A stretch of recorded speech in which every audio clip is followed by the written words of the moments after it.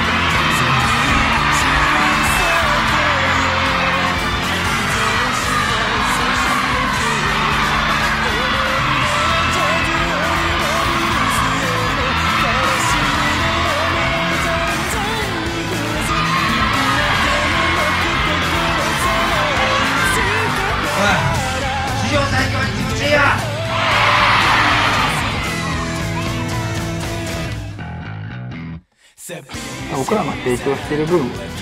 緒に成長してもらえたらいいバンドにはいいお客さんがつくと思うんでいいお客さんが見に来てくれてるってことは多分僕らいいバンドなんじゃないですかね。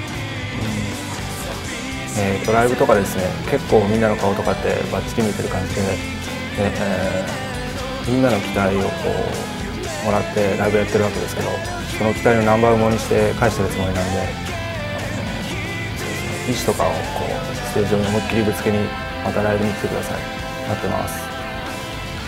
まあ、わがまま三昧、えー自分らのやりたいことをえーやってきた4年間でしたけども、えーまあ、最近ついついポロッと出てしまうのが、えーもう我々だけじゃ我々5人だけじゃ何もできない。これはもう本当に紛れもない真実のその辺はやっぱお互い自信を持ってこれからもぶつかり合いましょう。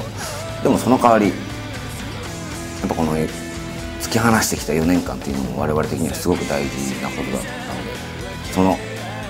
ぱお互いにこうぶつかり合ったり一緒にもう前に向かって進化して目指して駆け抜けてる状況の中でその順番は我々が先に行く。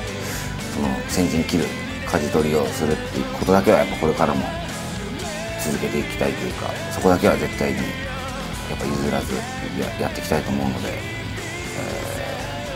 ーまあ臭い言い方ですが、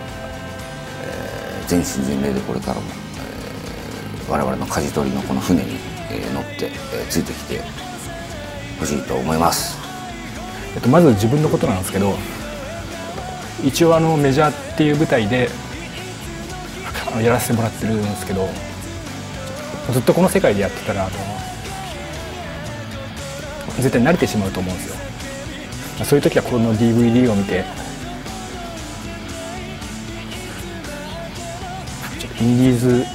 精神をちょっと取り戻したいなって